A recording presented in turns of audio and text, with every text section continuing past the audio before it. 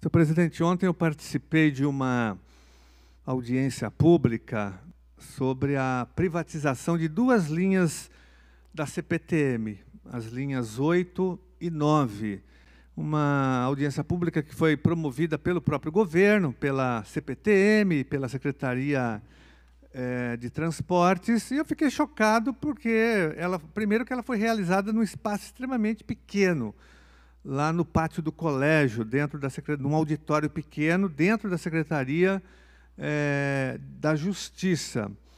Né? Não houve uma grande divulgação, enfim, estavam presentes ali muitos servidores, é, funcionários, comissionados, nomeados, representantes de empresas e pouquíssimos trabalhadores, né? que nem tiveram acesso à palavra. Né? Não foi franqueada a palavra, o máximo que eles podiam fazer era fazer por escrito é, perguntas. Né? Eu achei já um absurdo isso. O fato é que eles querem, eu quero denunciar aqui, que mais uma vez o governo Dória, o governo do empresário Dória, né, está liquidando com o patrimônio público, está vendendo tudo, dilapidando tudo que o Estado tem. E agora ele vai entregar para as empresas privadas duas linhas rentáveis e estratégicas na área do transporte público sobre trilhos no nosso estado, aqui na região da Grande São Paulo.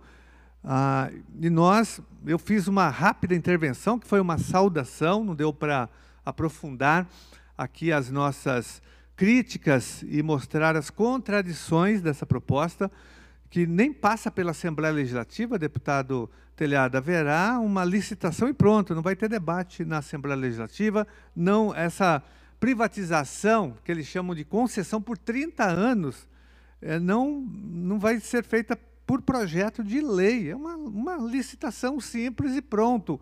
É um absurdo.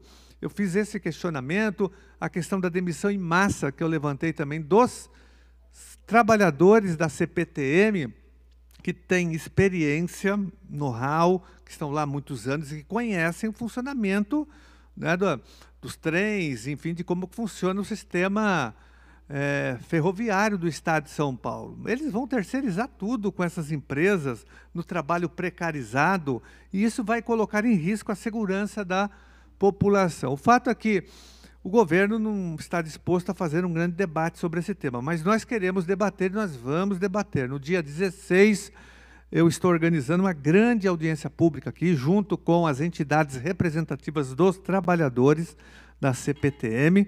Nós vamos fazer uma audiência. Vamos convidar o presidente da CPTM, a secretária de Transportes, né, os envolvidos todos, no, no caso, as entidades, estarão todos aqui para fazer um grande debate contra a privatização, contra o que eles chamam de concessão dessas duas linhas da CPTM. E nós também já estou convocando, já protocolei, pedi pra, para protocolar é, um requerimento na Comissão de Transportes para que o, tanto o presidente da CPTM como também o secretário de Transportes venham aqui explicar, depor e debater numa comissão que é importante, que tem que debater esse tema, porque são duas linhas, eu digo, duas linhas importantes, estratégicas para o Estado de São Paulo nessa área do transporte público, que não podem ser dilapidadas, entregues assim para o setor privado. E isso eu sei que faz parte desse, da política de desmonte do Dória. Dória está desmontando o Estado, privatizando tudo que ele encontra pela frente. Já privatizou o Zoológico de São Paulo, privatizou o Jardim Botânico, o ginásio do Ibirapuera, empresas estatais já foram é, privatizadas, é, está tentando privatizar agora os presídios, as estradas, que ele anunciou agora, 1.200 quilômetros de privatização. Né? Isso significa mais pedágios, o aumento da farra dos pedágios no estado de São Paulo. E outros projetos que estão em curso, ele, ele já anunciou aeroportos serão privatizados no Estado. Não é um desmonte, agora está atacando o transporte público, a CPTM.